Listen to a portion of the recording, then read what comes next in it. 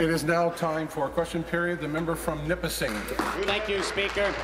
Speaker, I would uh, also uh, open by commenting on the cowardly acts of terrorism in Boston and that our uh, caucus uh, as well uh, offers uh, our heartfelt condolences to the families of those who were sadly affected. Speaker, my question this morning is for the Premier. The Auditor General told us that the cost of Mississauga gas plant is not the 190 million that you've uh, talked about, but rather a whopping 275 million. He also told us of the subtle change in language the Liberals used from saying the total cost to now saying cost uh, to the taxpayer.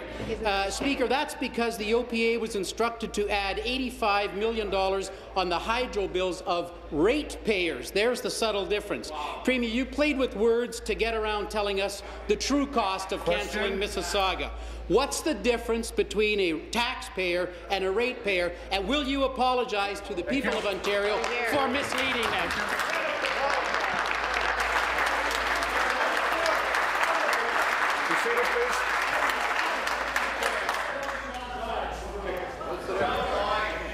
The member will withdraw.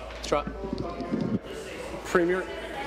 Curran, uh, first of all, on behalf of the people of Ontario, I want to send our thoughts and prayers to our friends in Boston, to the families of those killed and injured, and to everyone affected by this shocking event. You know, um, races like the Boston Marathon really are a demonstration of human endurance and a sense of community.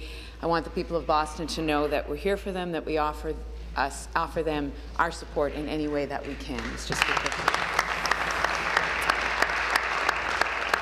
And I want to uh, I want to thank the auditor for his work and accept his findings, Mr. Speaker. The auditor has provided Ontarians with a longer-term assessment uh, than the original assessment by estimating costs and savings over 20 years.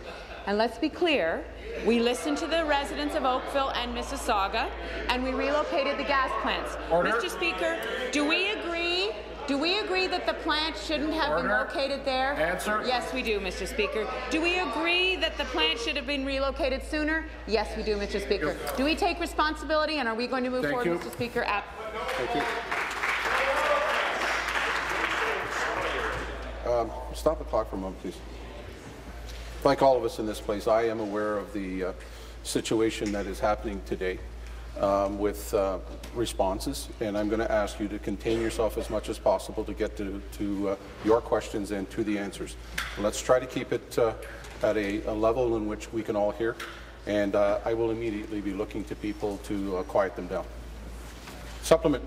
Thank you, Speaker. Premier, what was even more revealing from the auditor was the fact that millions of dollars were needed for transmission, gas connection, and other costs made necessary by moving to your new location. That's because, Premier, there's a right way to move these plants and an expensive way, and we learned from the auditor that you picked the most expensive way possible. The auditor, auditor told us he will be using the same criteria in telling us how much your Oakville cancellation really cost. Now, you're sticking to $40 million, but the OPA shows those same extra costs the auditor will look at using will bring this to $991 million.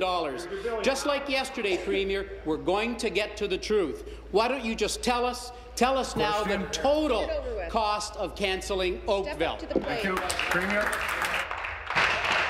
Thank you very much, Mr. Speaker. And I just, I know that the Minister of Energy is going to want to speak to some of the specifics, Mr. Speaker, but I, I want to be clear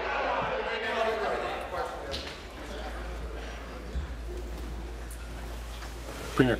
Mr. Speaker, I didn't think that was such a, an outrageous comment. I know the Minister of Energy is going to want to speak to the specifics, but I want, I want to talk about my responsibility and our responsibility, Mr. Speaker, to move forward on this. And it is very clear to me, the Mr. member Speaker, from Lambton Kent, come to order. I, I listened to what the Auditor General said yesterday, Mr. Speaker. It's very clear to me that he has made calculations, member and I am, I'm very glad that he has shed some light on this, Mr. Speaker. That's exactly why that's exactly why we asked him to look at both of the situations, Mr. Speaker.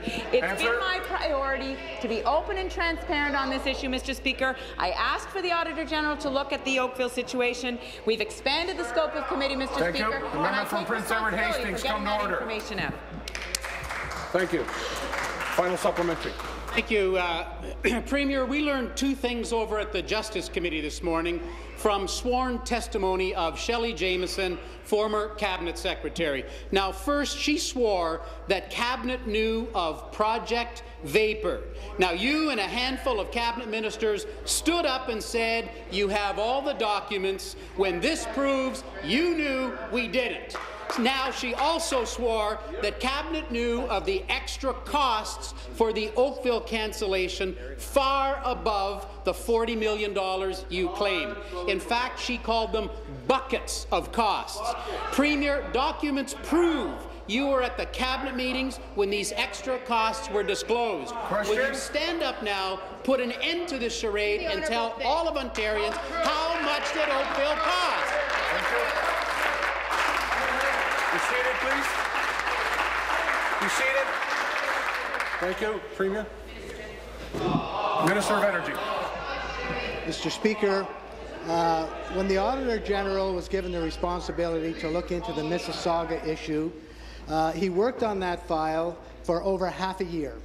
He worked cooperatively with the Ontario Power Authority and uh, officials from his office. He stated Member very from Waits, clearly Grenville, come to Mr. order. Speaker, And Prince he Edward stated Very clearly yesterday that he had access to all documents. It was not a problem for him to gather the information.